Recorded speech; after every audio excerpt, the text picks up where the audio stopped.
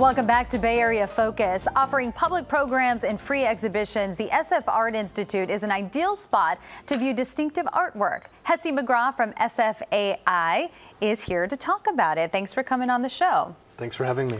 All right, so tell me about the exhibitions and the public programs. So we're part of the San Francisco Art Institute, which is the oldest um, art institution in, sure. in San Francisco.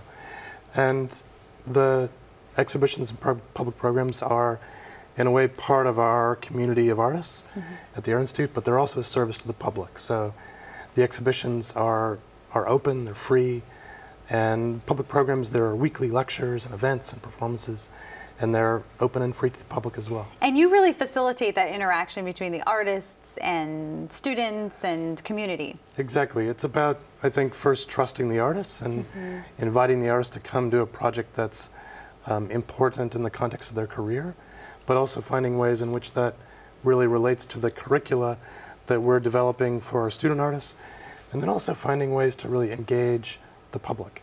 And they don't necessarily have to be student artists who, who come and, and listen, because a lot of the artists will come and they'll do um, lectures, right? Exactly, and the artists that we're inviting are really um, leaders in the field internationally. So they've received MacArthur grants and um, have you know awards of all kinds, and they're really um, people that are pressing contemporary art forward. Sure, so they're big yeah. time. They're big time. They're big yeah. time artists. Yeah. What can you tell me about the Walter and McBean galleries? So the Walter and McBean galleries are our major public presenting space, and it's about a 3,000 square foot gallery. Mm -hmm. And we often commission new work um, or present group shows around an idea, mm -hmm. around a concept.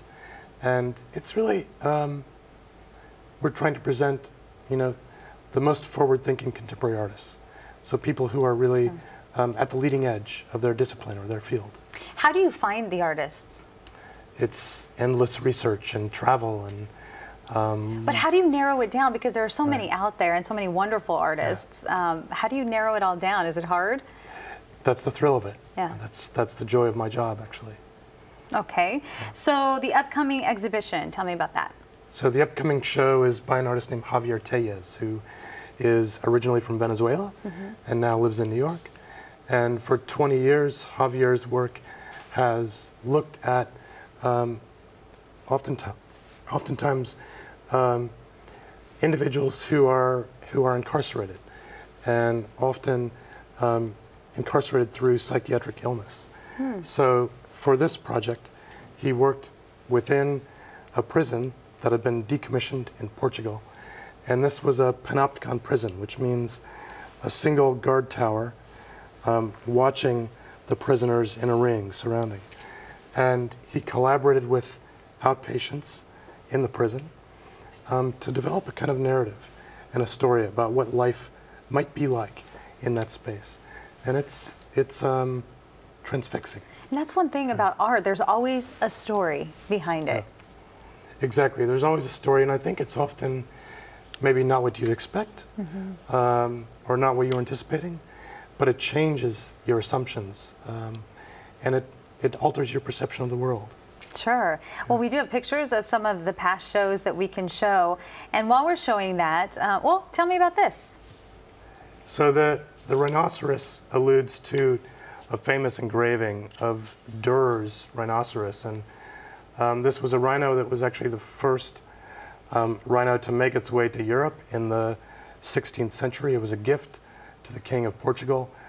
Um, he immediately regifted it to, the, to Pope Leo and sent the rhino to Italy. But this became a famous kind of image through Durer's engraving.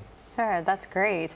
Okay, so this, I was excited to hear about this because Diego Rivera, I told you, is one of my mm-hmm. favorite artists, and there's a gallery Diego Rivera Gallery. There is. The Diego Rivera Gallery is actually our student exhibition space. Mm -hmm. And the cornerstone of that space is a Diego Rivera mural that was commissioned in 1931, which is a stunning mural that represents the building of the city.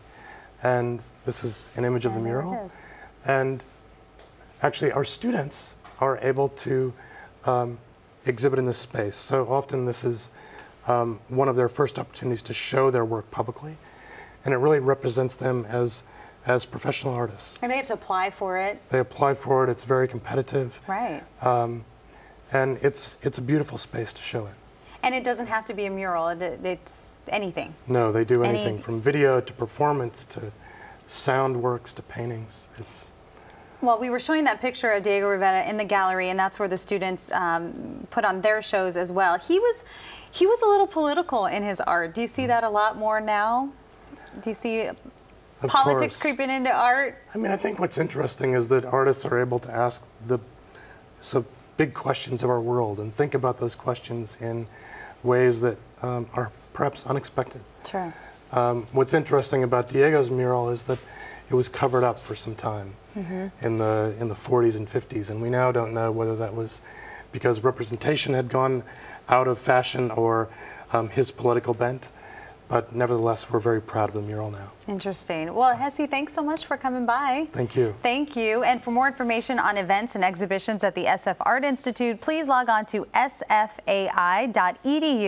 Again, that's sfai.edu. Coming up, we'll discuss the Indian Community Center's many initiatives. We'll be right back.